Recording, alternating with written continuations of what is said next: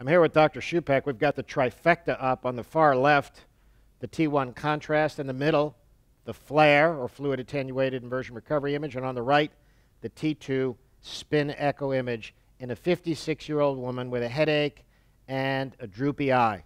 I'm going to scroll while you start to elaborate on the finding of importance. Okay. Well, you know, a droopy eye, that's kind of a serious problem, right? Meaning if you go to your doctor with a, a, droopy eye that's not working and they tell you that you're tired or depressed, you need another doctor, right? I mean, this is a situation where something's going on and we got to come up with something, okay? So your droopy eye differential, you got to sort of have one in your mind.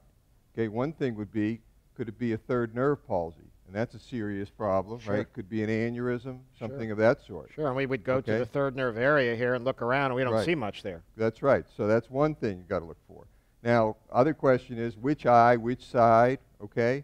Because sometimes what will happen is one, the one pupil will be small and the other big, and that will be mistaken for it. So you got to really kind of look at your sides here and how it's described. It's a left droopy eye. Cause, yes, because an unsophisticated observer might describe it as a dilated pupil, but actually the action's on the other side. Like me. Okay? Like me. So now we're talking about a droopy eye. In this case, there's a headache, right? So in this case, uh, so the other thing in your differential is how about Horner's syndrome? Do you guys remember that? Ptosis, miosis, anhidrosis. You remember? I remember that. Yeah, I, told you that, but you forgot. Now I you forgot. remember again. I'm an so old internist. So the place to look right now is we've looked at the third nerve, looking for an aneurysm, so that's a biggie. We did look we for don't the see it. Nerve. We didn't see an aneurysm. Next thing, keep on heading down because the next stop the is next the carotid canal. All right, let's check out the carotid canal. Here's and we have action there. We okay. do have action right okay. there. So you can see that, that in the carotid canal, there's sort of a meniscal appearance around the carotid, okay? And so carotid dissection as a cause of Horner's syndrome, ptosis, miosis, anhidrosis. Okay, classic.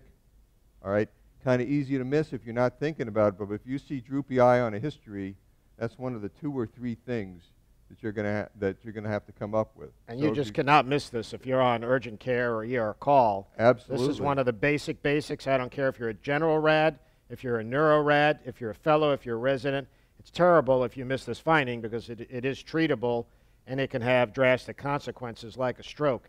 It does have this kind of arcuate, meniscoid look to it. I've blown it up so our audience can see it a little better.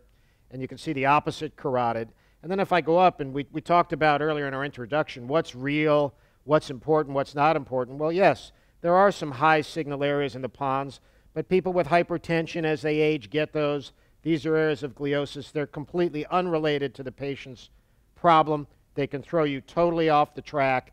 And Dr. Shupeck being a neurosurgeon and being a neuroimager, has honed right in on the area of interest, which you can follow longitudinally up and down. It goes right into the petrous portion of the left carotid artery, and this is a left carotid artery dissection.